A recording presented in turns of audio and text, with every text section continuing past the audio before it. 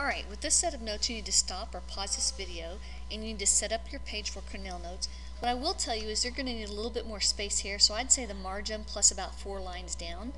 And once you've done that, again, you can put the intro, this is Unit 1, Intro to Bio, Unit 1, and this is the remote bio notes. So we're doing B2C and B2D in this one. These are all process TEKS. These are science processes that you need to know how to do. So some of these you should be familiar with. Most of them you should be familiar with because they've been in your fifth grade science TEKS, sixth grade, seventh grade, eighth grade science TEKS all the way throughout here. So I'm going to expand this, mm, bring this up a little bit so we can see it a little bit better.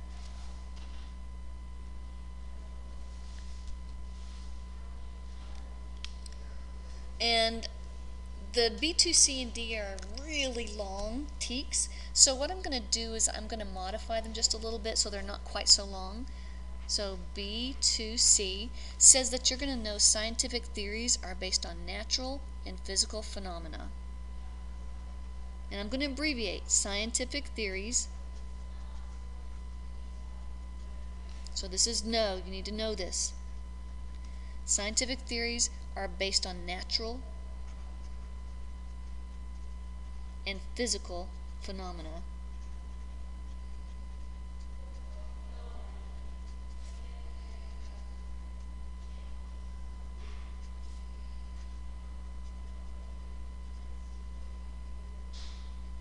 Phenomena. My phenomena just went off the end of the page there.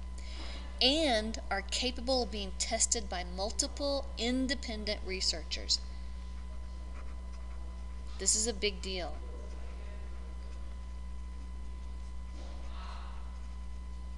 They're capable of being tested by multiple independent researchers.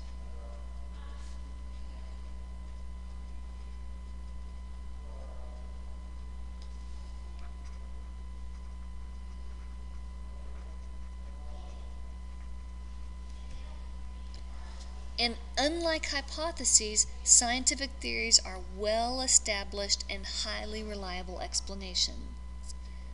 Well established, so they are well established and highly reliable explanations.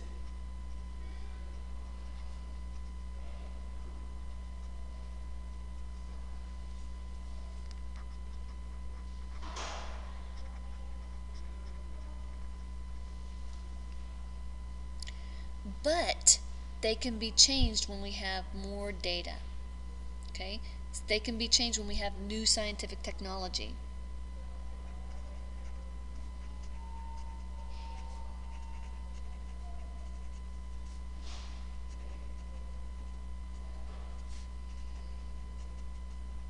So they can be changed when we have new data and new technology. Sometimes we just don't have the technology to study things, and all of a sudden there's a breakthrough in technology, and we can get a lot more information.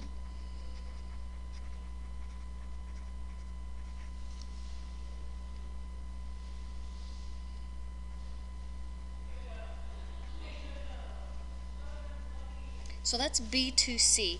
B2D goes hand in hand with this. So I'm going to put a little square here that kind of stands it out just a little bit. Here's B2D. And B2D says you need to distinguish between hypotheses and theories. Distinguish between, tell the difference between hypotheses and theories.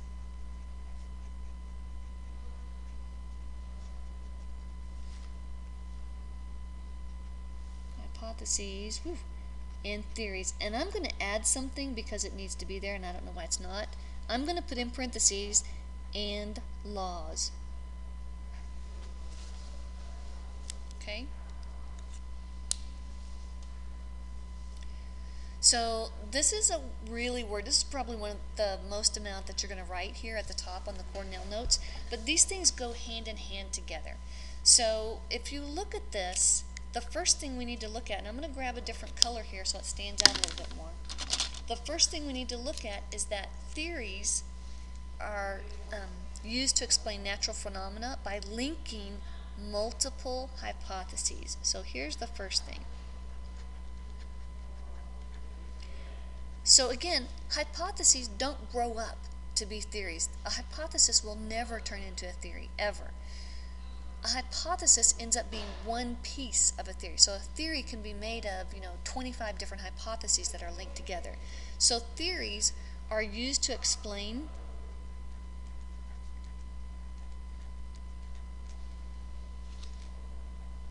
natural phenomena. Again, you've heard that phrase before natural phenomena, things, phenomena, things that we see in nature, natural phenomena, by, here's the key, by linking multiple, and I'm going to put the word in parentheses, durable. Durable means they stand the test of time. If you have a durable um, pair of jeans, it means they're tough. They can withstand a lot. They're tough. They can stay around for a long time. Durable hypotheses.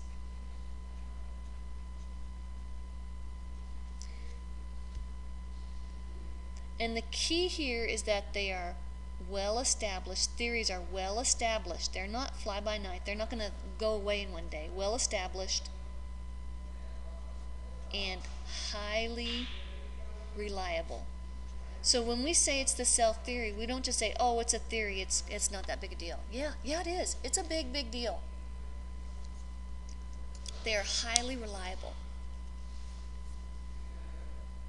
So examples of this would be something like the cell theory. All living things are made of cells. Only cells reproduce cells, right? You've heard of the cell theory before, and we'll talk about it a little bit. Um, the gene theory. The gene theory says that you have two genes for every trait, and that all of your characteristics are, are controlled by their genes. The germ theory, we just take these and say, you know, these are just true, true, true. So the germ theory would be one where it says a lot of diseases are caused by germs. The evolutionary theory, and this is one where people like to say, oh no, this is just a theory, it's not a big deal. Well, it's just as much of a solid theory as the cell theory or the gene theory or the germ theory. It's just that a lot of people don't like it because they're under the misapprehension that, oh, well, the evolutionary theory says God doesn't exist. Well, we've talked about that in the last notes. Um, the science is what can't take into account God or no God. The science can't deal with that, so it's limited to see, hear, taste, touch, smell. Atomic theory would be another. You could list several theories, but remember that these theories are subject to change. Um, some theories that have changed over time, and I'm going to give you some examples of these. I'm going to grab a different color. These theories are always true. These theories changed.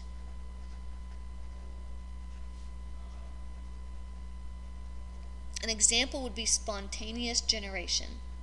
Spontaneous generation was the theory that life could come from non life. And spontaneous generation said, oh, hey, all of a sudden, all these flies grew in this meat, and I had the meat covered up with something or other. Well, what they didn't realize is what when the meat was uncovered, the flies came along and laid eggs. Then when they covered it, the eggs were already there. It wasn't that flies come from rotten meat, which is one of the, which was one of the hypotheses. It's that we didn't see the eggs there, so that theory of spontaneous generation is something that is a theory that is no longer. Um, another one would be like uh, maternal impression. Um, that whenever a woman's pregnant, that if she experiences things when she's pregnant, that will affect how the baby looks. That was a that was a scientific theory at a time, and it was really common. Uh, let's see, the humor theory. The humor is like um, your body is made up of four humors: red bile, yellow bile, blood, and phlegm. I'm sorry, black bile, yellow bile, blood, and phlegm the guy Hippocrates came up with that and said, hey, these are all the four liquids in the body, and if you're sick, then it must be that they're out of balance. So if you have a fever, your skin is flushed, well, you must have too much blood, so let's just take some out. That was the humoral theory of things. Good thing that one's not around anymore for us. So these are theories that that are they had them for a while but they realized hey these are not great things so we can change once they have more data better technology then we can deal with that um, the last thing I want to talk about and I'm going to grab a different color here is that we can talk about laws. And laws laws only describe the natural phenomena. They don't explain it. Laws describe. So look up here. Theories are used to explain the natural phenomena. Laws describe natural phenomena. They don't explain anything. There's a big difference between that. So here, if we have the theory of, or the law of gravity, so here we have something called the law of gravity. Basically, it's an attraction between two bodies. It doesn't explain what's going on. It just said, hey, this is what it is. And it has um, an equation. A lot of cases, they have equations.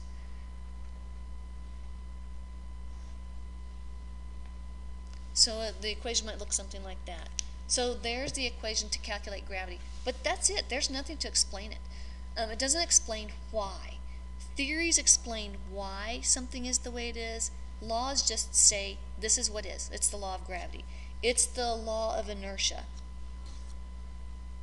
You guys already know the law of inertia. One of Newton's three laws. A body at rest stays at rest unless acted upon by an outside force. A body in motion stays in motion in a straight line, constant speed, unless acted upon by an outside force. It doesn't say why it's moving. It doesn't say why it's doing this at all. It just says, here's what we've seen to be true. A body at rest stays at rest. A body in motion stays in motion until acted upon by an outside force.